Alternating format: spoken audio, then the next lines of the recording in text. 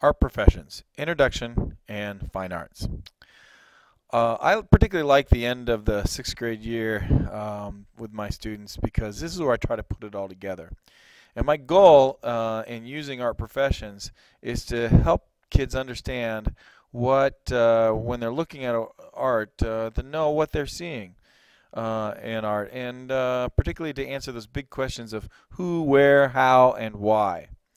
Um, the last thing I would want someone to do is to, to make a work of art, uh, for example, a painting of a cow, and not know if it's good or not, uh, and have to ask the cow. You shouldn't have to ask the cow if it's good or not. You should know. And if you know what is valued, um, you know what's valuable to the group that's doing, then I think you understand it better. Um, and uh, so this, this video is to help us fill out this paper that looks like this without the photos. And um, I'm going to start here right at the top at Fine Artists. And I've got three different columns, one for title, one for who did they work for, where is the art, and what's the goal of the art. Okay, So we will start with a Fine Artist, and that's probably the most typical um, of them. And uh, I have a quick little video that I want you to watch uh, right in here. Oops, let's click on that. And uh, that explains what it means to be an artist.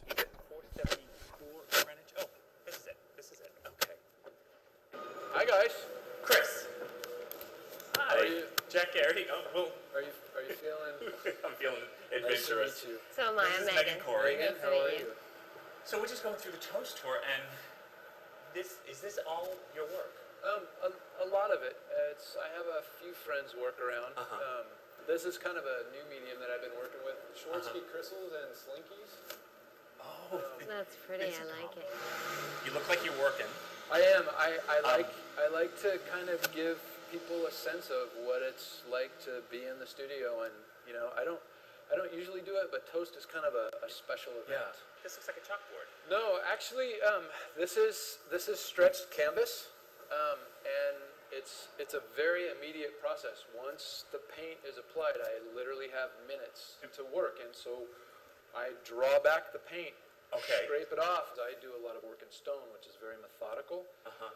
This lets me clean out my mind. It, it's it's creative immediacy. It's off the top of my head. It's it's whatever is is there comes forward. So y- this is this is a medium that you're working on right now. Are you are you in the process of working today, this minute? I, I am actually. Um, I have a canvas stretched up, and uh, when you guys walked in, I was mixing up some paint. If someone is bold enough to venture into an artist space, I, I welcome them with open Okay. arms. An artist space is really it's it's a temple. It's a place where an artist can go and um, connect to the source, whatever that might be. Church is open. Do you have any advice for someone that's buying for the first time? my philosophy is if you come across a piece and it gives you chills or you just you, your your heart feels like it's going to stick to the canvas or to the sculpture and you have the means mm-hmm. bring that into your life mm-hmm. think think about think about how your life will change on a daily basis living with that piece I haven't had the opportunity to do this because it changes everything getting to talk to the artist. having you guys in the studio, it, it's part of the experience. You guys become an evolution in mm-hmm. the piece. It affects it. Right. In this acrylic paint, I'm using three things. I'm using water, I use a matte medium, and uh, I put a retarder in there. These paintings are, are so immediate, but the catch is if the paint dries, it's done. It's Yeah. right. Okay, so he's speeding it up so we can kind of watch him work fast.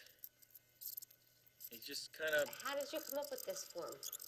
I, I think it's just all one big accident, right? Putting his handprints on, putting her handprints on. That's you. I don't want to ruin your graphic though. It's all right. I don't care. like cocktail hugs.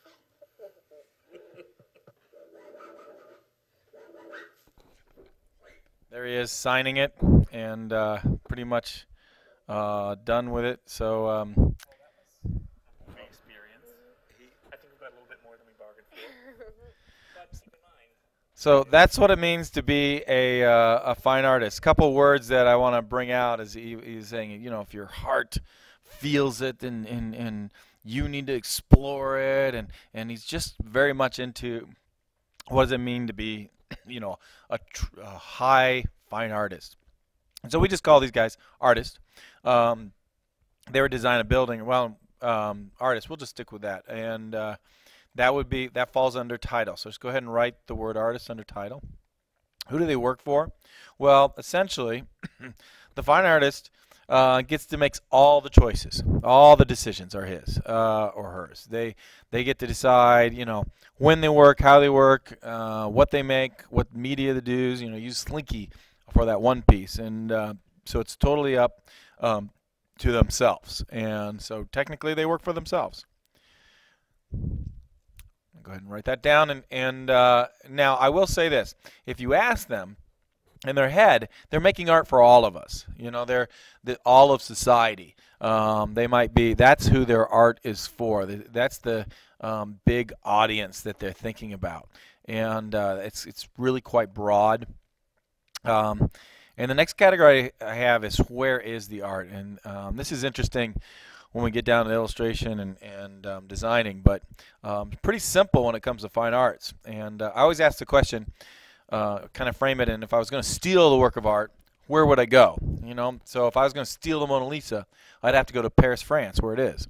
Um, and uh, you know, if I print off something off the Xerox machine, or I mean, a printer off my computer, I haven't stolen that work of art. If I go to the library and find a book with the Mona Lisa and cut it out, I've, I've destroyed a library book, but I haven't gotten the, the Mona Lisa. So where the art is, is the original. And that's true, believe it or not, only for fine arts. And then lastly, I think the biggest question of them all is the uh, goal or um, you know what's the goal of the artist and uh, is their goal um, and as you could tell he says is it's just about his life. Um, and life is art, and art is life. And so I've, I've, I've broken it down to kind of this phrase right here to describe beauty or life. That's, that's the big goal of fine arts. Now, he's allowed to paint anything he wants.